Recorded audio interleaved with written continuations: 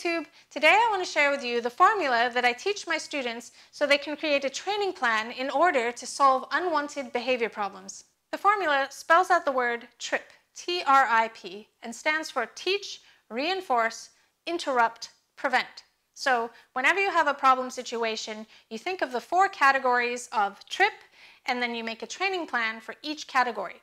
So the first category is teach. What behavior is your dog doing that you dislike? What behavior would you like your dog to do? So you think about the behavior you would like your dog to do and you train it in training sessions. So for example, if you don't want your dog to lay on your couch, you train them to lay in a dog bed and you reinforce it in training sessions. You can even add a verbal cue for the behavior so you can tell your dog to go to his bed. The second category is reinforce. There are behaviors that your dogs are already doing that you can reinforce. And you can also reinforce the absence of the undesirable behavior. So what do I mean by this? For example, if you're on a walk and your dog barks at other dogs on the walk, what you can do is when the dog sees the other dog, they're still on a loose leash and they're not barking, you can actually reinforce that behavior instead of the barking.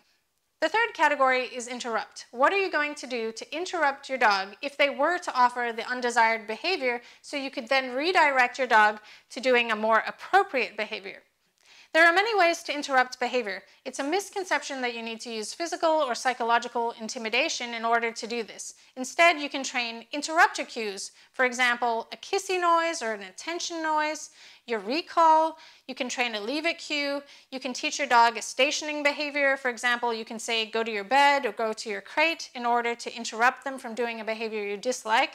So basically, you train all these cues to stop your dog doing what you dislike, and then you can give your dog information on what you would like your dog to be doing.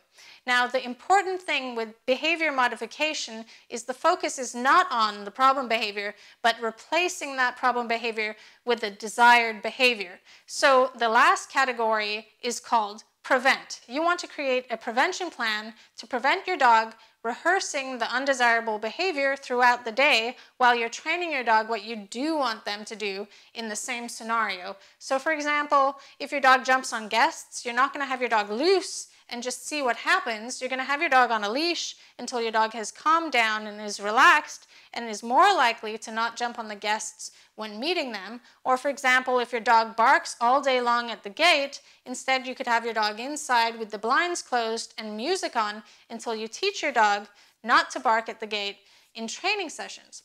It's really important to remember with a behavior modification plan that the focus is not on interrupting and preventing the behavior, but the focus is on building the new behavior to be stronger than the older behavior. So you're going to be focusing on what you do want your animal to do, training and reinforcing it rather than simply interrupting and preventing because what can happen is even if the behavior goes away, there's a vacuum and your animal doesn't know what to do in that circumstance besides that one behavior he did. So for example, if it was jumping, he might then think, to start barking for attention or jumping harder since jumping just a little bit didn't work.